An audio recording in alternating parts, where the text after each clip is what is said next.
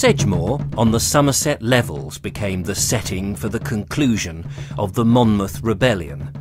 This vast, flat moorland is crisscrossed by a network of drainage ditches called reens.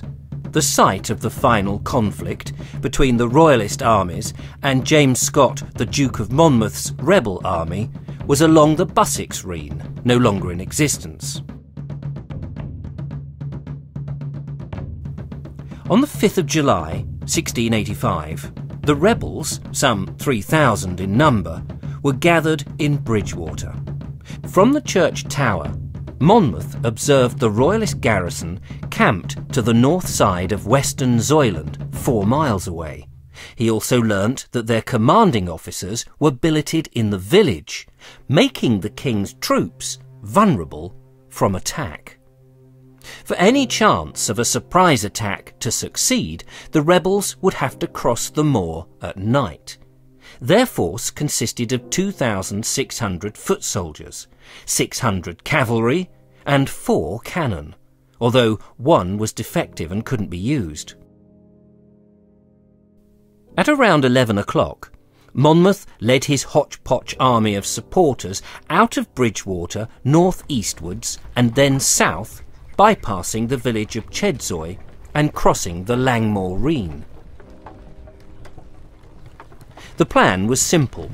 His cavalry was to ride ahead, cross the upper plungeon, a ford or crossing point of the Bussex Reen to the northeast of the King's troops, and attack the sleeping garrisons in their tents, while the larger force, the infantry, were to form up and wade across the Reen and finish the murderous task.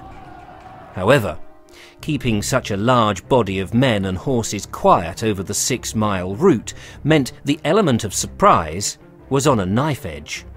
The night was dark and misty, which hampered navigation, and a royalist scouting party stumbled upon the rebels, and a shot was fired.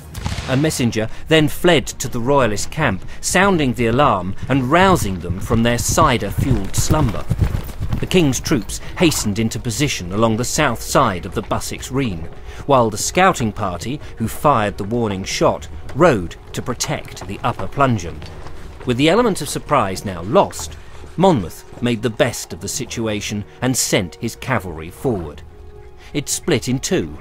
A smaller section tried to take the upper plungeon, while the larger part rode across the north side of the Bussex Reen, aiming for the lower plungeon. They never made it. Instead, they came under fire from the Royalist army on the opposite bank.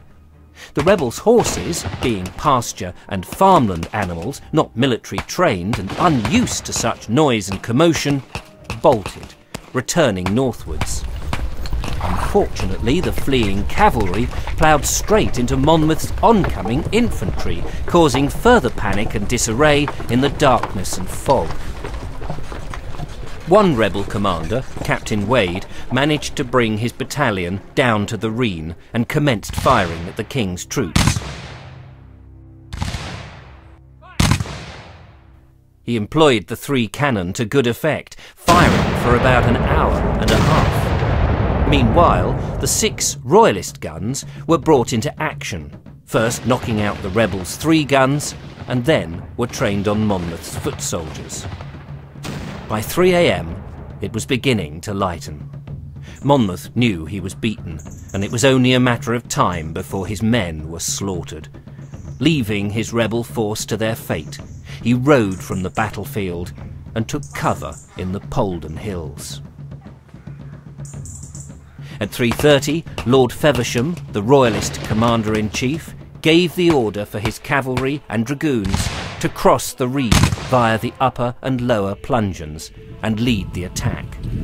Thirty minutes later, he instructed his infantry to advance also.